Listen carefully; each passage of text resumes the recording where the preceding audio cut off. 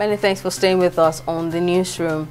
The presidential candidate of the All Progressives Congress APC, Bola Tinubu, has said that in selecting Senator Kashim Shettima as his running mate, he committed himself to a pragmatic approach to leadership.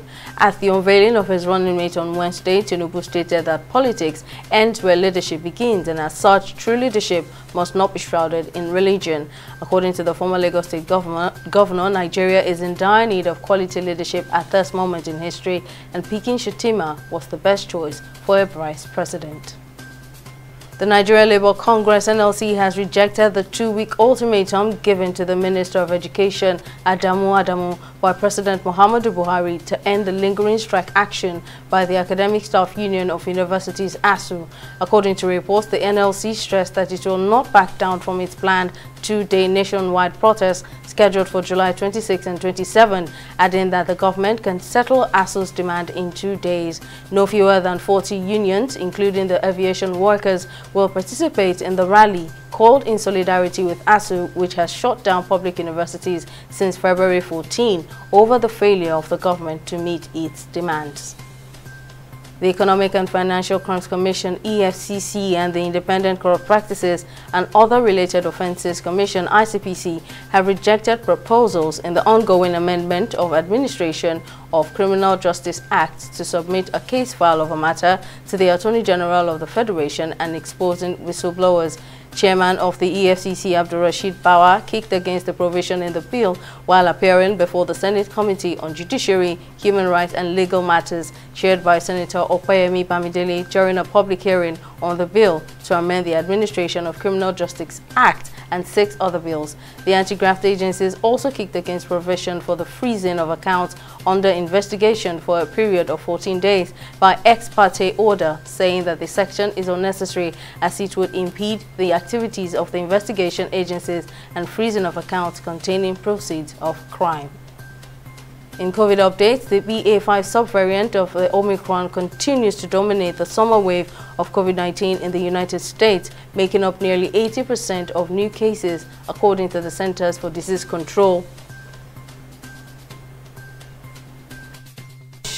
Nowcast model Data from Johns Hopkins University shows 29 states reported more cases than the week before, while 20 states had more deaths than a week earlier. Meanwhile, according to Health and Human Services data, hospitals in 35 states reported more COVID-19 patients, while hospitals in 25 states had more patients in intensive care beds. Bakers under the aegis of the Premium Bread Makers Association of Nigeria have announced plans to halt production of their products effective Thursday, according to a statement signed by the president of the association, Emmanuel Onuorah. Operating a bakery in Nigeria has become almost impossible given the incessant increases in the prices of baking materials and diesel which have affected the industry negatively. Onuorah said that bakeries were running in losses and the situation was no longer sustainable. He added that the withdrawal of service is the only way the association believes can get the attention of the federal government and Nigerians to their plight.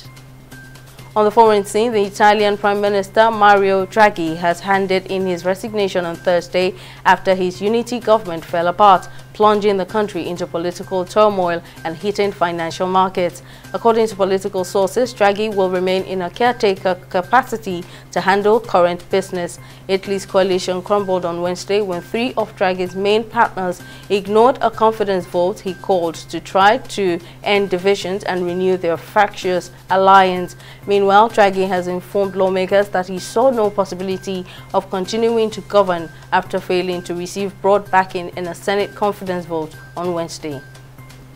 Rangers defender Calvin Bassey has joined Ajax in a record 22.6 million euros sale for the Saint Premiership Club Premiership club.